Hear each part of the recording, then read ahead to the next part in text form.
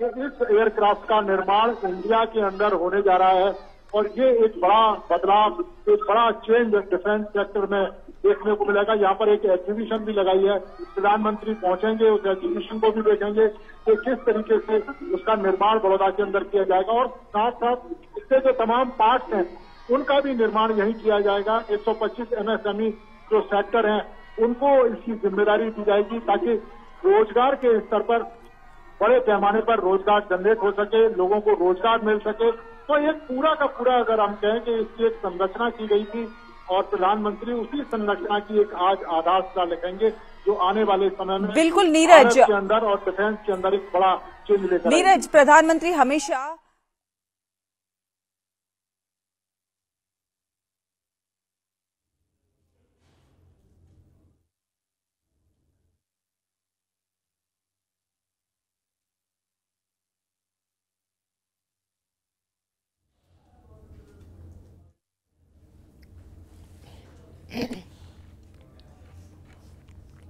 कि इस एयरक्राफ्ट का निर्माण इंडिया के अंदर होने जा रहा है और ये एक बड़ा बदलाव, एक बड़ा चेंज डिफेंस सेक्टर में देखने को मिलेगा। यहाँ पर एक एग्जीबिशन भी लगाई है। प्रधानमंत्री पहुँचेंगे, उस एग्जीबिशन को भी देखेंगे कि किस तरीके से उसका निर्माण बड़ौदा के अंदर किया जाएगा। और साथ साथ इसके जो तमाम पार्ट्स हैं, उनका भी निर्माण यही किया जाएगा। 125 एमएसएमई जो सेक्टर हैं, उनको इसकी ज़िम्मेदारी दी जाएगी ताकि रोज़गार के स्तर पर बड़े पैमाने पर रोज़गार जनरेट हो सके लोगों को रोज़गार मिल सके तो एक पूरा का पूरा अगर हम कहें कि इसकी एक संरचना की गई थी और प्रधानमंत्री उसी संरचना की एक आज आधारशिला लिखेंगे जो आने वाले समय में बिल्कुल, नीरज। के अंदर और डिफेंस के अंदर एक बड़ा चेंज लेकर नीरज प्रधानमंत्री हमेशा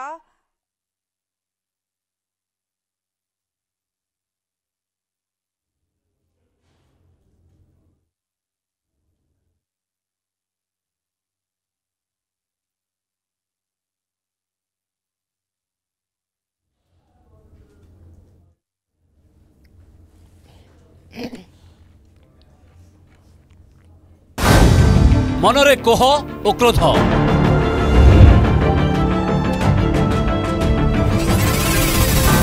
କାହାକୁ ପଚାରିବେ ପ୍ରଶ୍ନ କିଏ ଦେବ ଉତ୍ତର ଆପଣଙ୍କ ପ୍ରଶ୍ନର ବେସାଲିସ ମଞ୍ଚ।